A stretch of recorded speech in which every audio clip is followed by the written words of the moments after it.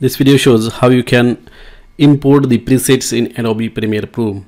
So to import the presets, you have to go to the effects panel, which you can find over here. If you can't see it here, just click on these arrows and also make sure that you are in the editing workspace. So once you go to the effects panel, you will find this presets bin over here. So all you have to do is just right click and then you can see these options import presets. So just click on that. And then you have to import this Premiere Pro filter preset files .prfp sed that is the extension.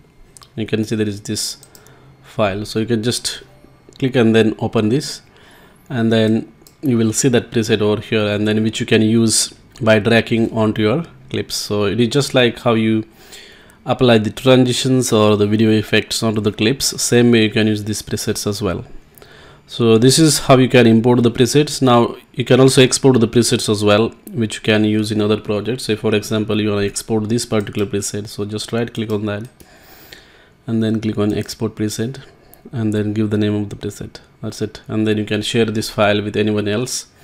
They can use the same preset as well. Thanks for watching